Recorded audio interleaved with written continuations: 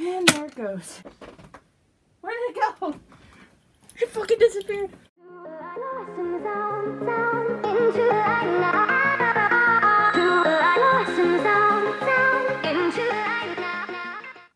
Okay, so this video is a little impromptu, but I thought it'd be neat to document this. Um, I my mother's birthday is coming up soon, and I I'm gonna be getting her an enamel pin, right? And she already has another enamel pin that I got her um, from Christmas. But the thing is, she doesn't have a way to properly display her enamel pins, and I can't find like a cheap enough, nice cork board or pin board or whatever for it. And she has some buttons that she wants to display too. And I did some digging, and I found these really cute little like banners that uh, you put your pins on to display them. And I found a couple, but I wanted to see if I can make it myself so I don't have to spend the money because I have so much shit in here anyways. Sorry that this, all of this is a mess. I haven't had proper time to work in here or clean anything as of recent. And I did some digging around in my junk closet over there and I found some old jeans that I had saved. Had some, uh, they had ripped right at the crotch and I'm like, eh, I can't wear those anymore, but I really like the fabric of these, so I kept them. And I really like this black background. It really, I think it will help uh, the colors of the pins uh, pop out more. So I'm going to be using this material and I did test it. I used a pin, this little pin right here, my Captain Kirk pin from Troublesome Girl Studios because the, the pin from Christmas that I got, my mom is also from Troublesome Girl Studios. Uh, so I wanted to use one that was similar in like weight, right? Because these are really big pins. And I tested not only just poking holes on them, but just like having it like that. Because the other, all the other materials I have are kind of stretchy and I don't want it to sag. So by using this, it's like, it doesn't move around. It stays pretty still, which is nice. So it's a good material for this. For the, the rest of this uh, banner, I have this string, uh, yarn, something. I don't know. This was also in there. it's silver and I think it matches with the black nicely. Um, the only thing I need to find is like a stick of some kind uh, for the top part of the banner, and the only ones that I have that I can immediately think of are these that are off of like a broken like gate, little little gate, right? But this is way too big, and I have no way to cut this. so I have to do a little bit more digging around to see if I can find anything. If not, I'll, I could probably find a stick outside. um, I'll figure something out. Or maybe, ooh, maybe I can use one of these brushes. I don't use this at all. I don't like the hairs on these brushes. They shed a lot. Ugh. I might actually use this. I have to do some testing, uh, patterning, and sewing. But yeah, this is gonna be a little how I made my part of my mom's birthday present. So let's go. Okay, so to start out with this, I created myself a little pattern of what I wanted this to look like. I did 6 by 8 inches, roughly. I then added an extra inch at the top, which you'll see where I uh, draw that in a minute or so, for when the thing folds over, because I'm gonna, you'll see that I'll, I'll put this on the um, fold of the fabric instead of creating two extra pieces um, and that will become like the pocket for the stick, right?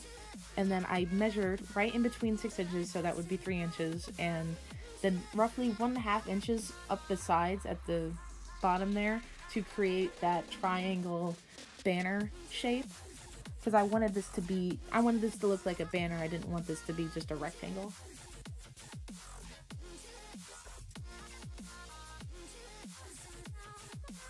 after I got the shape and size that I liked and I wanted, I got my little handy dandy cutter out right there and I cut around the pattern all the way.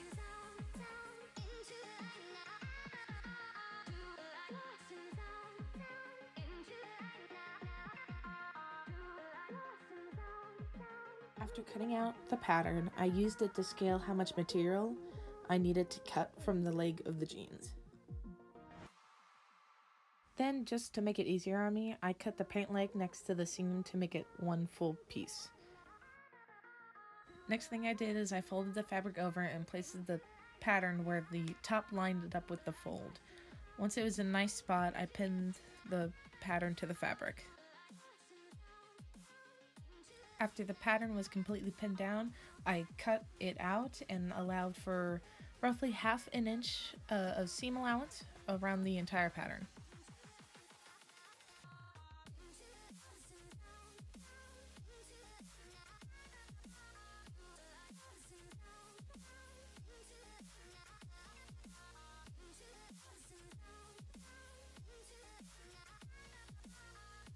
After that, I took the pattern off the fabric and then proceeded to pin down the edges all around the piece.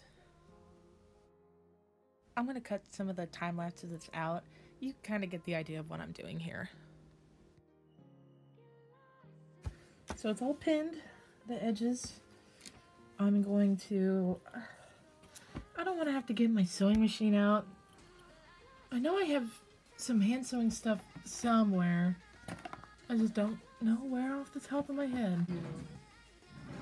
Oh, it's right over here. Ah, wait. Don't break. There it is. Had to dig into my sewing machine bag to find my black thread, but after that fiasco, I began sewing all around the edges. And I also realized after the fact, you don't really need to sew anything for this project. I could have easily used just a hot glue gun for the whole thing, but being completely honest, it does look a little nicer with the seams threaded down. Okay, so back to me for a moment. It's all sewed on the edges, and what I was going to do is I was going to get um, one of my paint brushes for the stick, right? And um, that would go in there across, and then I was going to sew up the edge against that and then do a I don't know what that's called. It's a kind of stitch, like a ladder stitch, I think, um, to sew the edges of this. But I decide that I'm too lazy and I'm going to hot glue it. the paintbrush that I took the end off. And I did paint the ends to be black because the maroon really didn't go along with this. And you're only going to see the ends anyways.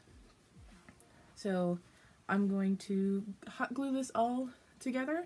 After that, then I'm going to um, I'm going to also glue it as well, but I'll put the string on it. And then there will be a pin banner.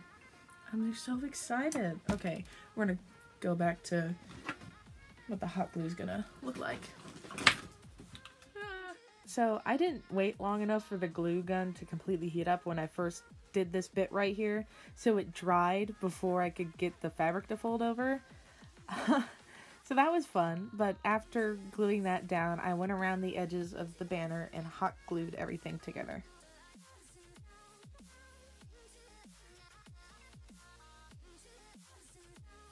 After all the edges were glued, I tied the string to the stick, and you don't have to do this if you have a nicer string, but I ended up gluing it to the stick a little bit because the edges of this particular string really like to fray a lot and I don't want this to fall apart when I give it to my mom.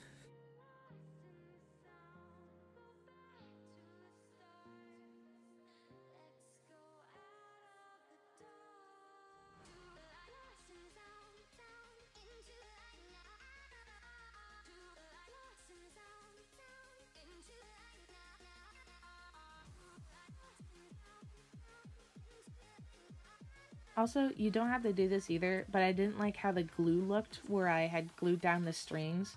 So I used a paint marker to sort of mask it and paint it black.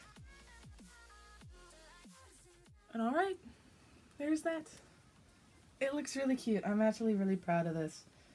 But yeah, I think it's really, I also think it's really important to reuse fabric and not have to buy stuff from like Joann's or Michael's or whatever if you can avoid it, right? So get fabric from like the thrift store or something like that. You can always get stuff like bed sheets or curtains or shirts and make them into something else.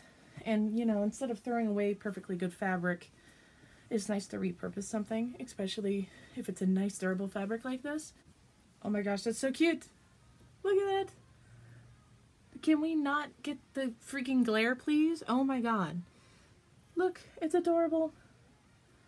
He looks so good. I might make some of these for myself now because I, I think this is just adorable. So I'm very happy with how this turned out. I'm glad I got to uh, make something for a video. How fun is that? Oh my god, wow. I want to make more videos like this where I'm I make things or paint or something more to do with stuff in this room.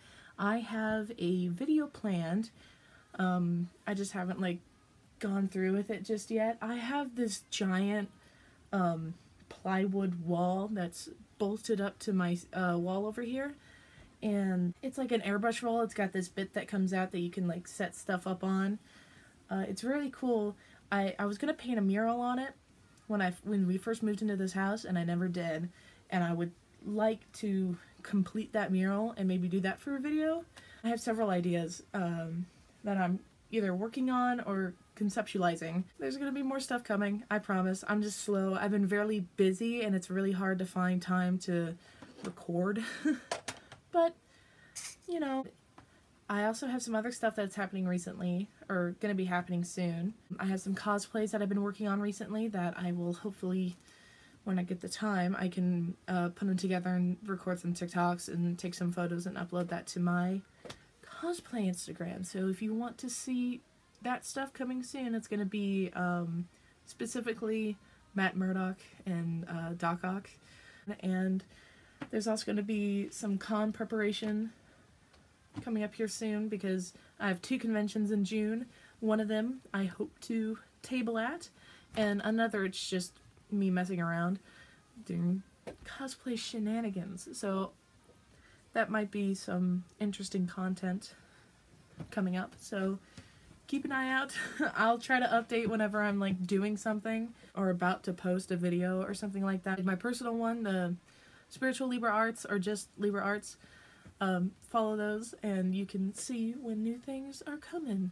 Hope you enjoyed this little video. Um, I had a lot of fun making this little gift for my mom. Um, I'm definitely going to make more of these. I hope you all have a wonderful day. Um, if you like this, if you like this video, um, subscribe and I'll maybe make some more. Maybe. If I'm not too busy.